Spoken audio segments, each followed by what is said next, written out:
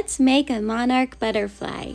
Can you tell that the monarch butterfly is symmetrical, which means it's exactly the same on both sides? Let's use orange and yellow to paint the wings of our monarch butterfly.